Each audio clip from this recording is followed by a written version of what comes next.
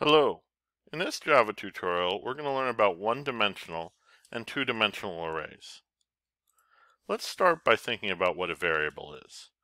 A variable is like a container. It can hold different things, like an int, or a double, or even an object like a string. However, it can only hold one value at a time. Now we introduce arrays, which are like one container with separate compartments. This would be considered an array of size 3 because it's got one, two, three compartments. We identify each compartment with its index number. So this would be index 0, this would be index 1, this would be index 2. And each of these compartments can hold a different value. Let's think of a time when it would be more efficient to use an array.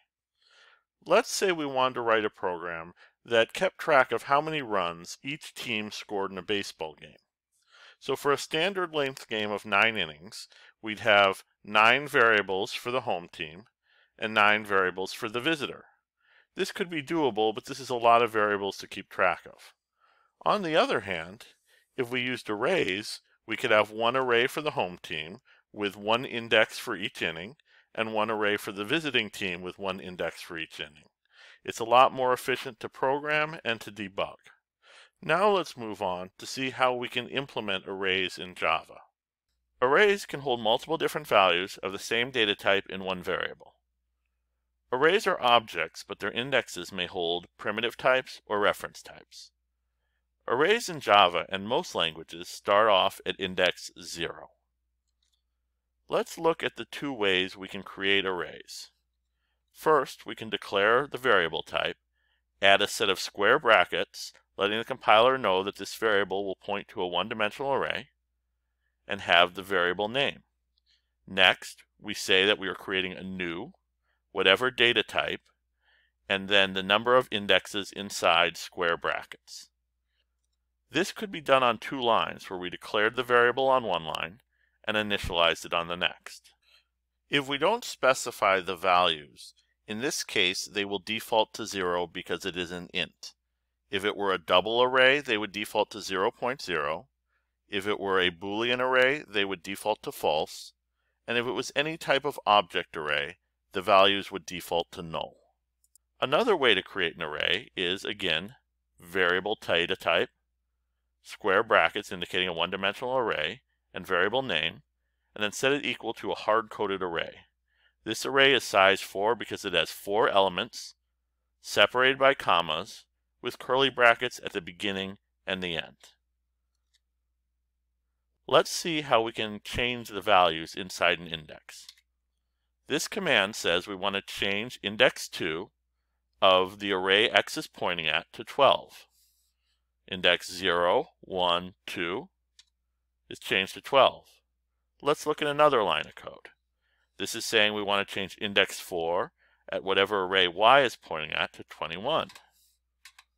0, 1, 2, 3, 4.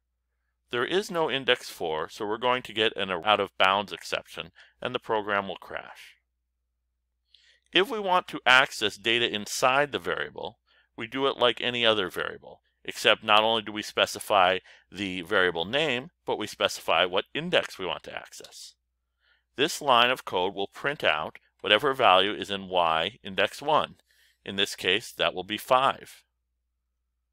Now let's look at two-dimensional arrays. A two-dimensional array is really an array of arrays.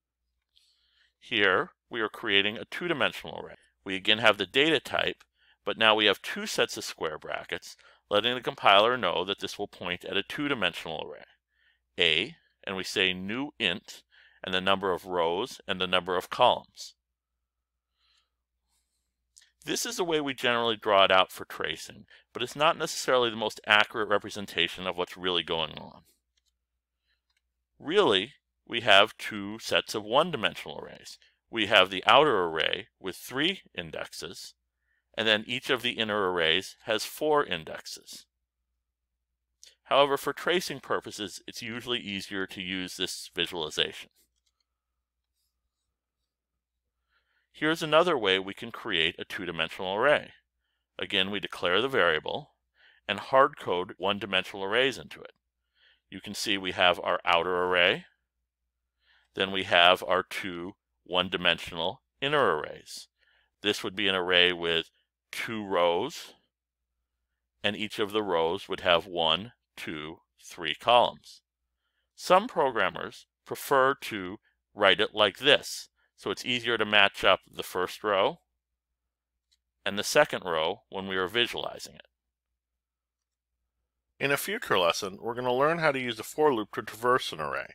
That's where we go through and visit each element in the array. To continue on to the next lesson, please click on the video link in the lower left-hand corner of the screen. To see the entire Java curriculum, please click on the video link in the lower right-hand corner of the screen.